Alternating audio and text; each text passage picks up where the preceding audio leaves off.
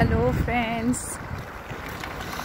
मैं अभी अपनी कोकोला के सेंटर में हूँ। यहाँ पर आज मैं गई थी अपने एक ऑफिशियल काम से। तो बस मुझे हुआ कि मैं एक बार आप लोगों को भी बताऊँ कि किस तरह का है कोकोला सिटी और कैसा है यहाँ का कल्चर। तो छोटे छोटे ये जो वीडियोस हैं, उसके थ्रू मैं कोशिश करती हूँ बताने की इवन जब आप या आपके बच्चे जब इंडिया से या किसी भी कंट्री से एशिया की कंट्री से जब आप लोग आते हैं तो क्या क्या चीज़ें आपको फेस करनी पड़ती हैं? क्या चीज़ें अच्छी होती हैं? किन चीज़ों का हमें ध्यान रखना होता है? नाम तो मैंने अभी इस वीडियो को रिकॉर्ड करने के लिए कोई स्क्रिप्ट बनाई है, ना मैं बनाना चाहती हूँ। क्योंकि स्क्रिप्टेड वीडियोस में मज़ा नहीं आता। जो हम लोग बात करते हैं, दिल से बात करते हैं, और जो चीज़ मैं फेस कर रही हूँ या जो चीज़ मैं आपको बताऊँगी, वो मेरी प्रैक्टिकल मेरे साथ हो रही है। वैसे अच्छा है। फिनलैंड काफ़ी अच्छी कंट्री है। सुकून है। यहाँ पर आपको चोरी वगैरह का कोई डर नहीं होता। सुकून से आप जा सकते हो। सबसे अच्छी चीज़ ये है कि आपको ठंडी।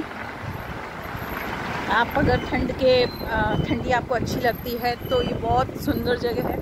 हिल स्टेशन आपको लगेगा कि हम लोग हिल स्टेशन में हैं। ये देखिए मेरे बाल कैसे उड़ रहे हैं। आज हवा चल रही है। आज स्नोफॉल नहीं हुआ है, अब ये बर्फ़ पिघल रही है। तो अब ये यहाँ से थोड़े दिनों बाद में, ये देखिए धूप भी आ रही है। पर ये धूप ऐसी धूप नहीं है। कड़कड़ा देने वाली धूप है, बहुत ठंडी है। ये देखिए।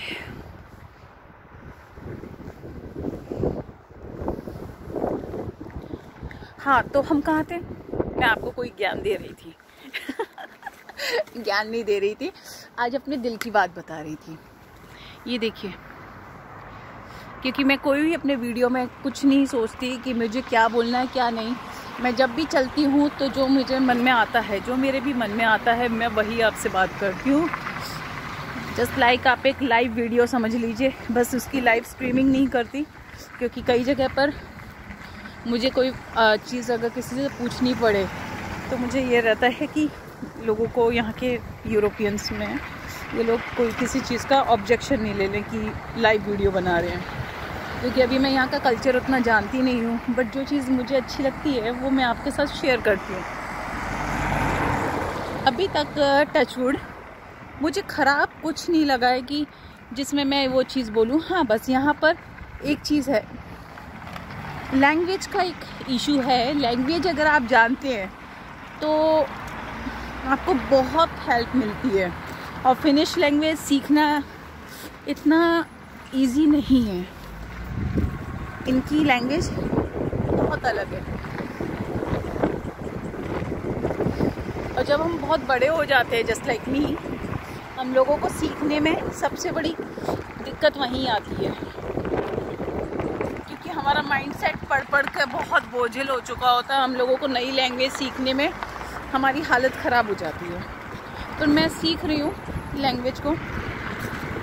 देखो, आंटियाँ मस्त वाली कार चला रही हैं। चलिए, मैं आपको दिखाती हूँ नज़र। देखो। यहाँ सारे 60 to 70 percent at least sixty percent तो कम से कम यहाँ पर जो लोग हैं, वो हैं ओल्ड एजेड एजेड लोग हैं। सीनियर सिटीजन्स हैं। And they are highly active आप समझ रहे मन के हारे हार है, मन के जीते जीत।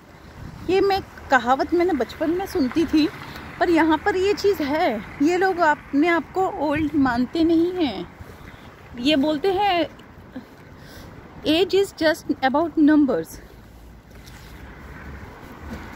बहुत अच्छा लगता है। यहाँ के ओल्ड या सिटी सीनियर सिटीजन्स कह लीजिए, ये सभी लोग जो हैं, ये इतने एनर्जेटिक होते हैं जो वाकई में तारीफ़ काबिल है। यहाँ कुछ चीज़ें ख़राब भी हैं। यहाँ अठारह साल के बाद में अपने बच्चों को ये लोग बाहर, घर से बाहर उनको इंडिपेंडेंट करने के लिए छोड़ देते हैं। यानी देसी भाषा में बोलें तो देसी भाषा में ये मतलब है कि घर से बच्चे को निकाल देते हैं। अब धक्के मार कर नहीं निकालते, बच्चे को इंडिपेंडेंट बनाने के लिए उसको फ्री कर दिया जाता है। That you are now free from our side तुम्हें अर्न करो, तुम लर्न करो, तुम जो भी करना है वो करो, पर तुम इंडिपेंडेंट बनो और हमारी जान छोड़ो। ये कंडीशन है। अब ये भैया, ये वाली कंडीशन इंडिया में तो लागू नहीं होती। यहाँ पर तो हम जब पचास साल के भी हो जाते हैं तो भी मम्मी पापा पूछते हैं, कहाँ जा रहे हो रे? इतको आ जा. एनीवेज ये ओल्ड एज होम है। यहाँ गवर्नमेंट ने ओल्ड एज जो होम्स हैं। उनको इतना फैसिलिटेट किया हुआ है, क्योंकि उनको पता है जब आप, बच्चे आपके साथ रहेंगे ही नहीं, आपकी केयर करेंगे नहीं, कोई आपको केयर करने वाला लुक आफ्टर करने वाला नहीं होगा तो फिर गवर्नमेंट ने ही वो स्टेप लिया हुआ है कि इनको रिटायरमेंट बेनिफिट्स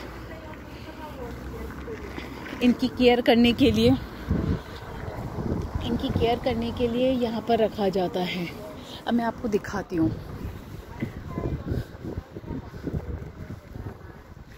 ये देखिए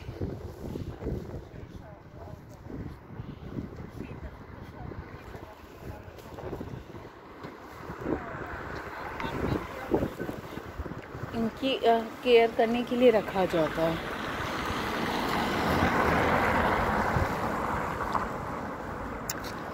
दिल दुखी हो जाता है कई बार।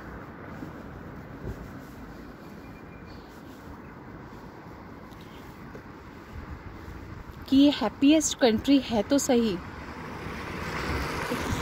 शायद ये पेपरों में हैप्पीएस्ट कंट्री है। फैक्ट एंड फिगर में हैप्पीएस्ट कंट्री है।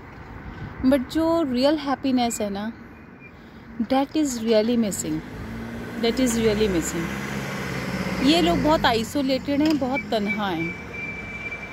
मैं किसी पर टिप्पणी नहीं करना पसंद करती, पर ये बहुत आइसोलेटेड और बहुत तनहा लोग हैं।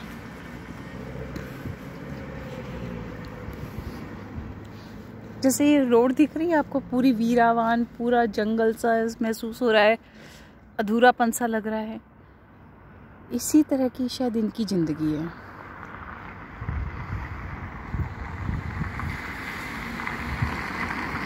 ये जैसे ओल्ड एज पूरे या एजेड वाले फॉर्म में हो जाते हैं तो फिर गवर्नमेंट ही इनका टेक केयर करती है। फैसिलिटीज़ बहुत अच्छी दी जाती हैं, पर यहाँ सबसे ज़्यादा जो प्रॉब्लम है वो है डिप्रेशन की। वो चीज़ हमें नहीं सीखनी।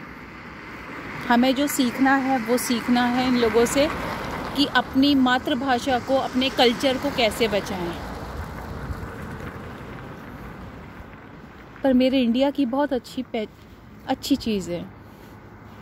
मेरे इंडिया में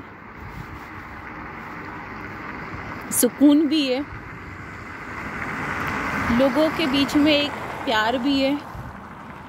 और कहीं ना कहीं मरते दम तक ना छूटने वाला साथ भी है अपनों का। आई love my India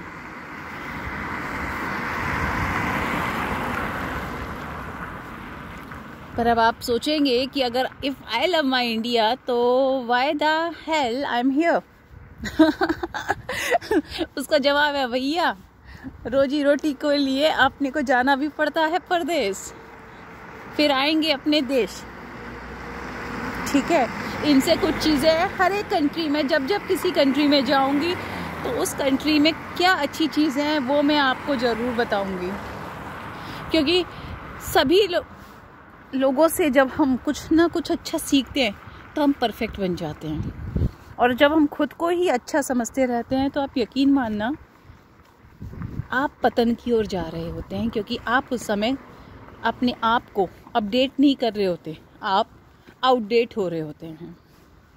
so east और west India is best so इसके साथ में मैं पूर्ण विराम करती हूँ, क्योंकि अब मेरा घर आ चुका है। ये मेरा घर है। मुझे बहुत खुशी है कि जून तक ये पेड़, जो कटीले पेड़ दिख रहे हैं, ये सुंदर से हरे भरे पेड़ बन जाएँगे। आई एम सो हैप्पी चलिए टेक केयर बाय